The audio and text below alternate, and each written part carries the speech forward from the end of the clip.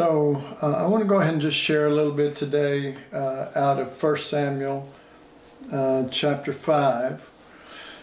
And um, uh, I'm going to be using a little bit of poetic license in, in my sharing on this, but I feel like there is something in this uh, from the Lord for us. Uh, the name of it is What's Causing Your Ups, Downs, and Defeats? And um, in 1 Samuel chapter 5, starting with verse 1.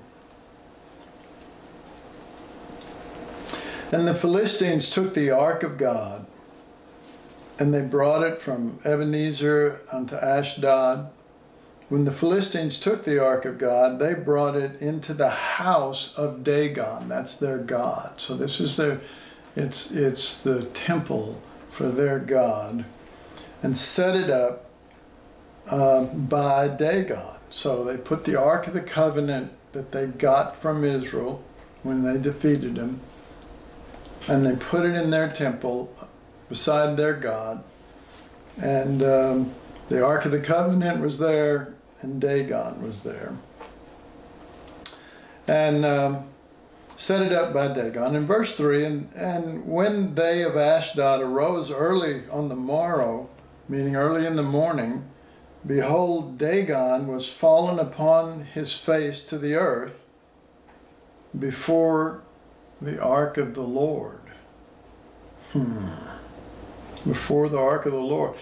And they took Dagon and they set him in his place again. And when they had arose early on the morn, meaning the next next day, behold, Dagon was fallen upon his face to the ground before the ark of the Lord. And the head of Dagon and both the palms of his hands were cut off upon the threshold. Only the stump of Dagon was left to him. Uh, it's interesting here that it mentions that his hands were cut off because uh, in our in the next several verses that we're going to read, um, we're going to hear about the hand of God. We're going to hear about the hands of God and Dagon losing his hands and yet God's hands moving.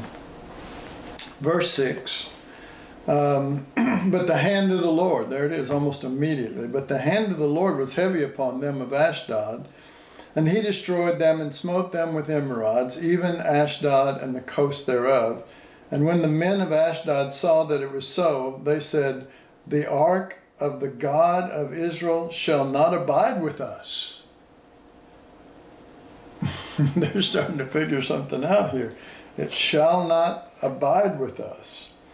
Um, and um, uh, with us, for his hand, and there it is again, is sore upon us and upon Dagon, our God.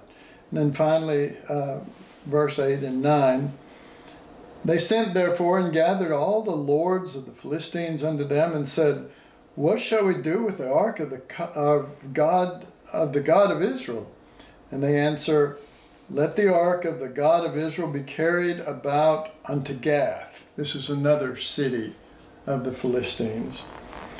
And they carried the ark of, of the God of Israel about thither. And it was so that after they had carried it about, the hand of the Lord was against the city with a very great destruction. And he smote the men of the city, both small and great, and they had emerods in their secret parts, which, if you don't know what emerods are, this is a very desperate attack of God. He gave them hemorrhoids, and that's what that word is in their secret parts. Okay, so, you know, like I said, a little poetic license here, but there's, you know, in the, in the lives of many Christians, there's a lot of ups and downs, there's a lot of defeats, there's a lot of, uh, you know, things going on uh, in their lives, and uh, many, many Christians really don't understand, you know, why that's happening. Um, usually the first thing is is we've sinned, and, and yet, yet you know there are many different angles from this. I'm going to be sharing on particularly one particular angle. But the, the historical background is that the, the Ark of the Covenant where the presence of God was. It represents the presence of God, and that's where His presence dwelt. Uh, was taken in battle uh, when the Philistines beat Israel in that battle, and uh, they were carrying the ark, hoping that you know just by carrying the ark, just by having the ark out there in the battlefield, that uh, they would uh, win the battle, and they didn't because there was some major junk going on in in uh, Israel um, with uh, the high priest and his sons, and it was really really horrible stuff.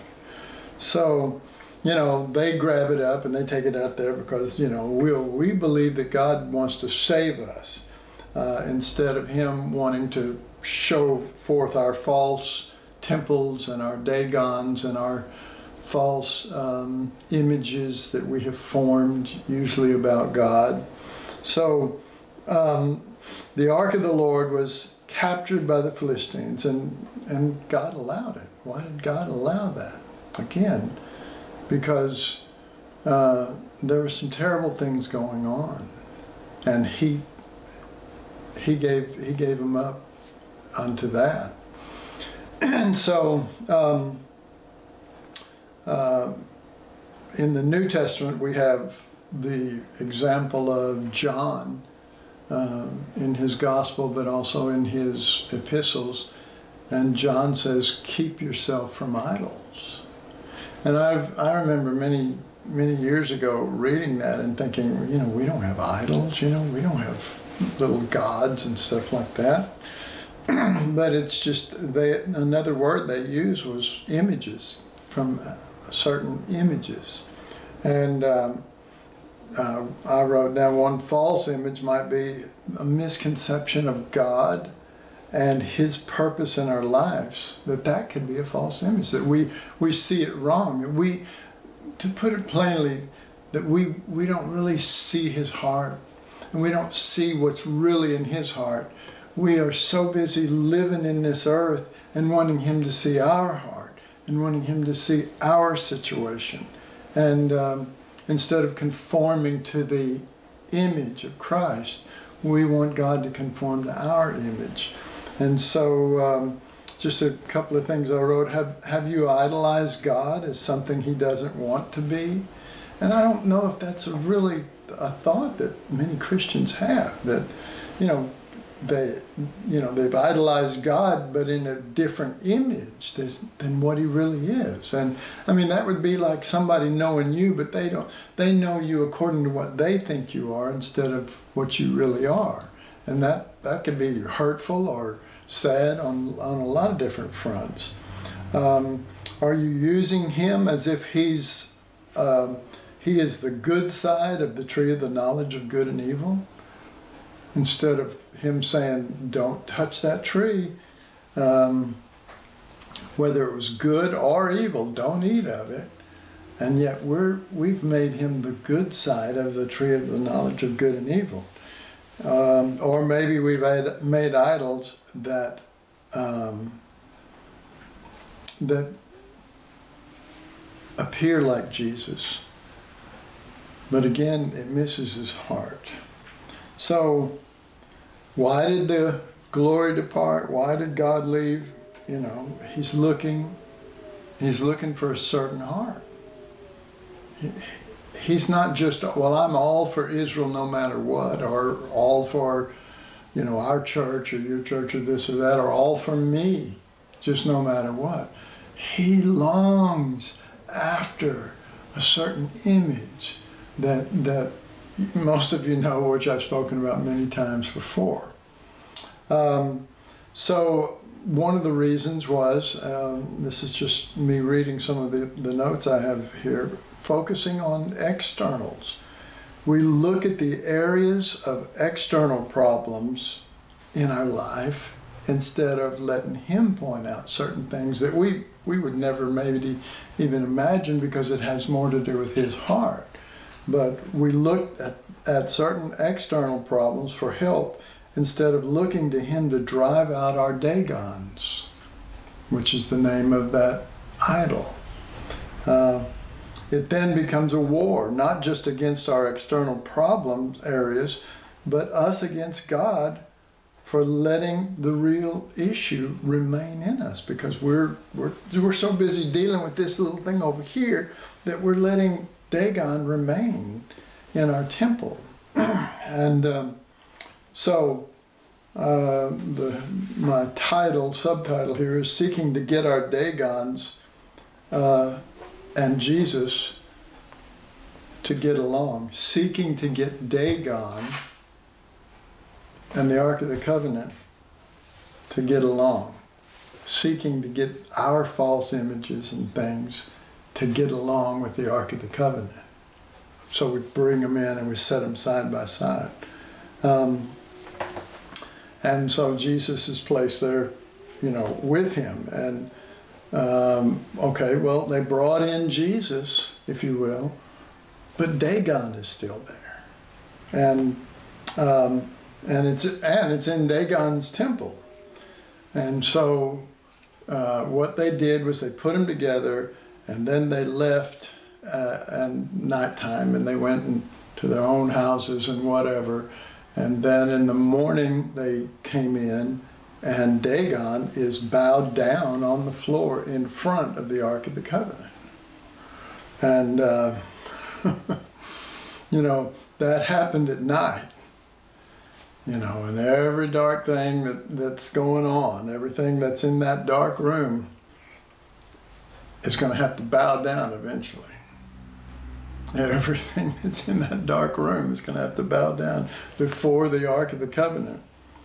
So Dagon bows. Verse 3 says, When they of Ashdod arose early in the morning, behold, Dagon had fallen on his face to the earth.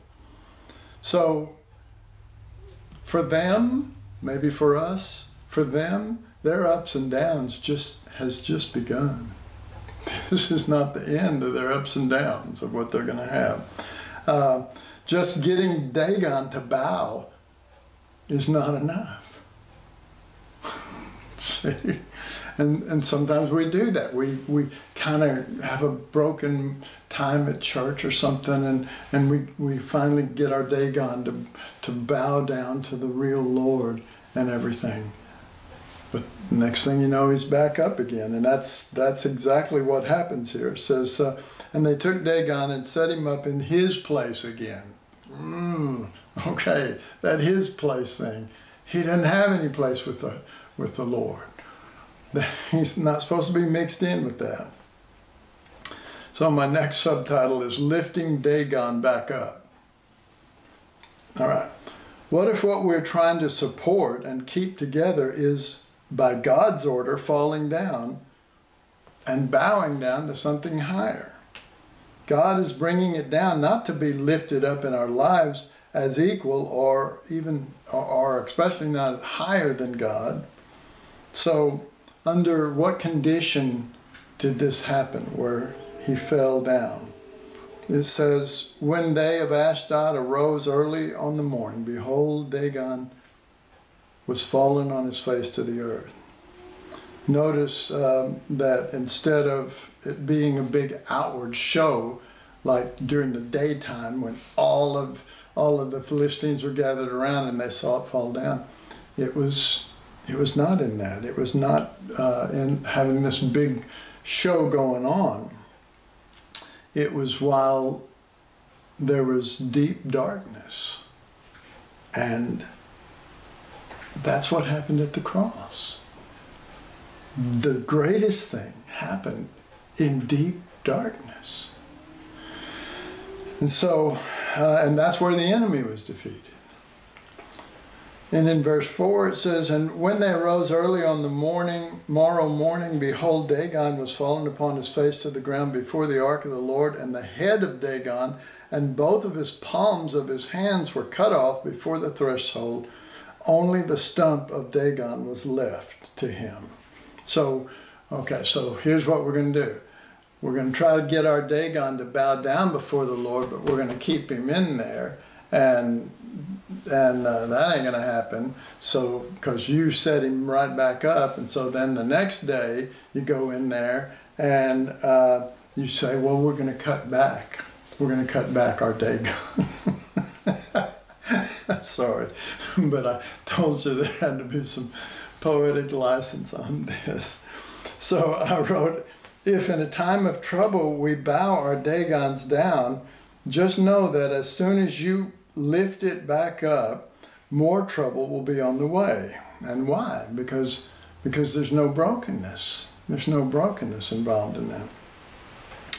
But for those who misunderstand this, they will keep wanting and having to manage what keeps falling down. And that's, you know, it's because it doesn't belong there, but we're trying to manage our, our idols or our images that we have of certain things.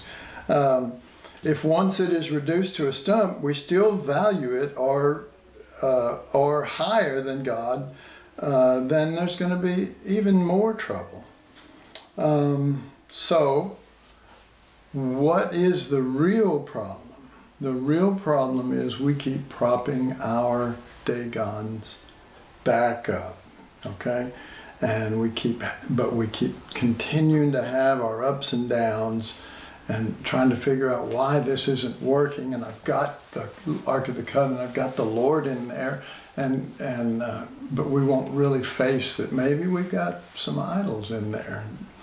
Um, so I wrote, it's obvious that when Dagon goes down, those who have enthroned him keep having to prop him back up again. This is part of the ups and downs that I'm talking about. but we don't give up on what we want. We don't give up on what we want to honor. We don't want we won't give up on what we want to be blessed. If it falls down in front of the Lord, we'll get it back up. Or we'll cut it back, as I said. So this time the head, the place of thinking, is cut off, and the hands, where we put our hands to it, are cut off. And I, I was just thinking of the Holy of Holies. I was thinking about David's David's tabernacle too, but I was thinking about the Holy of Holies um, the Lord alone in the Holy of Holies. If the Lord's alone in the Holy of Holies, there's no contrast. But when you place Him beside other things, like what happened in Dagon's temple, you place Him beside that, um, God will start dealing with your other things or my other things. See?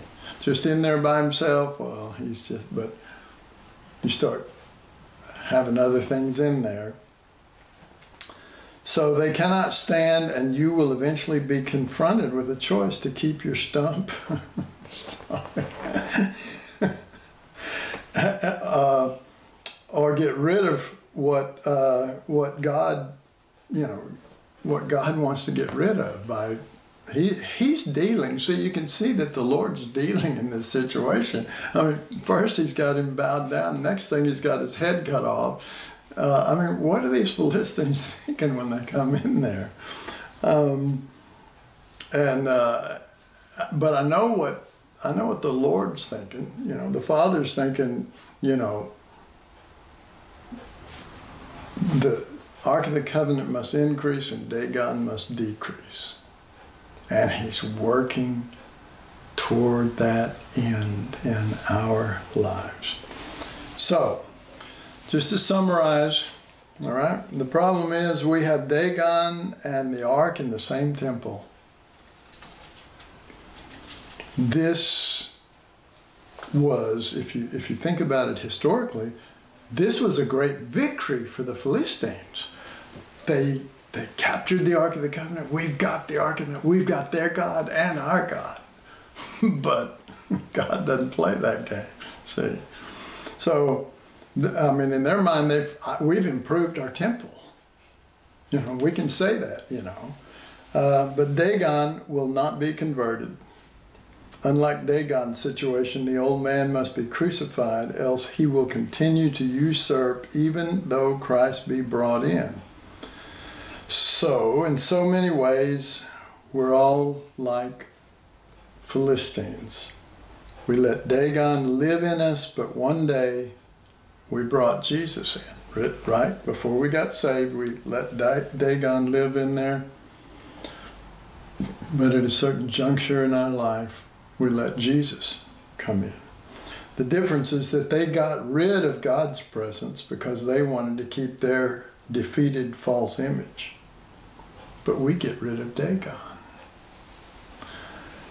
There's a big difference between the coming of the Ark of the Covenant into Dagon's house in contrast to bringing Jesus in to David's tabernacle. Remember? You remember that? This is this is a I don't I never have enough time to deal with this.